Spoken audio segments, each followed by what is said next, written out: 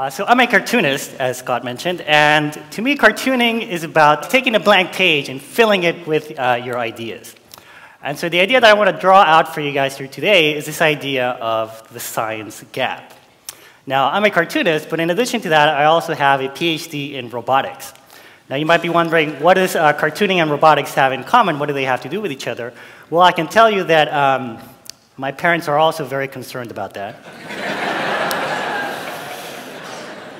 But because of this kind of unique combination of academia and the arts, I kind of find myself a lot of the time uh, traveling all over the world, talking to scientists and researchers about what they do and how they do it. And it's very interesting to me um, to find out, to learn all the things that we know about the universe, about our bodies, about ourselves, about our societies. But even more interesting, more amazing to me is to find out how much we don't know. Uh, so for example, here are some things that you think that we as a human species would know by now, but, but actually don't. Uh, starting with, first of all, what is 95% of the universe made out of?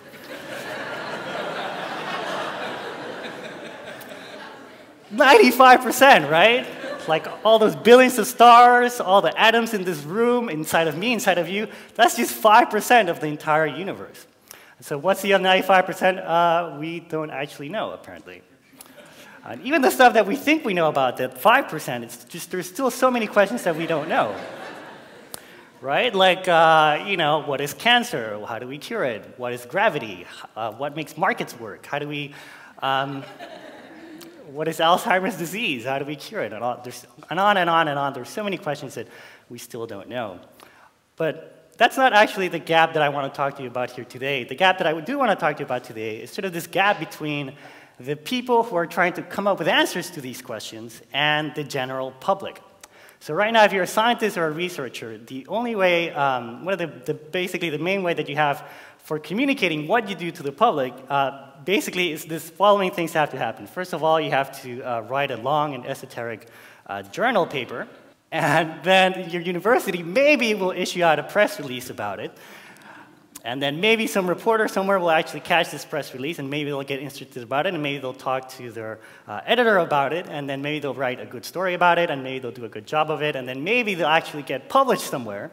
But it won't actually sort of reach the public really unless the media, general media picks it up or the internet picks it up and then maybe it'll actually reach the public and then maybe somebody will actually read it and understand it.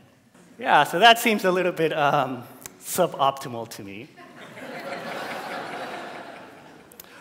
but then something pretty interesting uh, happened to me last year. I was contacted by this uh, physicist called Daniel Whiteson from UC Irvine. yeah. I know you're a UCLA. We shouldn't laugh at UC Irvine just because I said UC Irvine.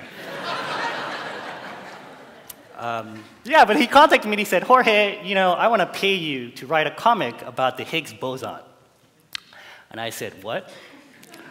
He's like, yeah, I feel like people are really curious about this topic, and you know, the media's not doing a very good job of explaining what it is. Uh, and so I said, sure. So I went and I interviewed him, and I recorded this conversation that I had with him. And at the same time, I was looking on the internet, people were really experimenting with uh, YouTube videos and taking recordings and making animations of it.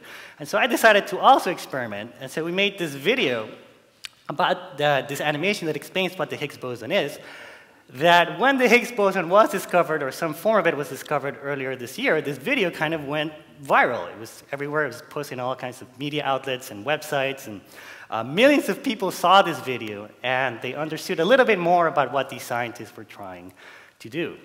So imagine that, right? The, most, the best and most clear explanation of what this complex and, and uh, nuanced topic was came from a scientist himself in his own voice who took the initiative to um, hire a cartoonist and experiment with new ways to sort of close this gap between him and the public, right? He didn't wait around for the press release, he didn't wait around for the reporter to come calling, he just took the initiative and did it. Um, so that's pretty cool. But I think, you know, part of the general problem is also that there's another gap, I think, between scientists and the public, which is in how the public perceives scientists and researchers. And so I know this because probably the thing that I'm most known for as a cartoonist with a PhD, as you know, the most overeducated cartooning cartoonist in the history of mankind. Uh, one of the, the things I'm probably most known for is to make this comic strip called uh, Piled Higher and Deeper, or PhD Comics. yeah. And this is a comic strip that I started while I was in grad school because, you know, you have a lot of free time in grad school. Um, but people sometimes call it like the Dilbert of academia, or they say that it's really interesting because it actually portrays scientists and academics as real people, you know? Apparently, they're, they're not robots. And, you know, I'm, I'm an expert, so I think I would know the difference. But these comic strips, uh, they're pretty popular in academia. academia. They get forwarded around a lot, and uh, the website gets about 7 million visitors a year.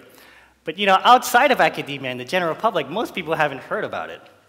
You know, what they have probably heard about is uh, probably the most, one of the most popular television sitcoms uh, in network TV today. It's a show called The Big Bang Theory. Exactly. some people groan, some people cheer. Uh, so the Big Bang Theory, it's also a show, it's a major TV network show about, that's also supposed to be at scientists and researchers. And, you know, the show has a lot of fans, and I don't want to offend them, especially on the internet. Uh, but this show um, is, is, does show smart people as these, uh, all the smart people in the show, they have this, um, their glasses, they dress really weird, they're socially inept, and all the smart, all the pretty cool people, they're blonde, they're dumb, they're, they're outgoing, etc. And so I don't have anything personal against this show, but I do sort of worry kind of about what these stereotypes, what impact they have on society in general. So for example, I sometimes volunteer in this uh, middle school in East LA called Endeavor College Prep. And these are kids that come from very disadvantaged communities. Most of them, their parents never went to college. Half of them statistically won't even graduate from high school. But you know, for all we know, the next Einstein or the next uh, Marie Curie or the next, next Darwin could be sitting in one of those classrooms now. And so I wonder sometimes, you know, what these stereotypes, the effect that they have. First of all, how are these kids going to get uh, communicated the science that they need to catch up and become these superstars? But most importantly, how are they going to ever see themselves as future scientists or researchers if all they see when they turn on the TV are these stereotypes and caricatures of what scientists and researchers are supposed to be? And so my point here today is that you know, what we don't know about the universe should inspire us, but should also inspire us to try to close these gaps in communication and in perception so that more, more people, most of us, most of the human species can participate and be engaged in looking for these answers. So that maybe we can even discover new blank pages to fill up with ideas. So thank you.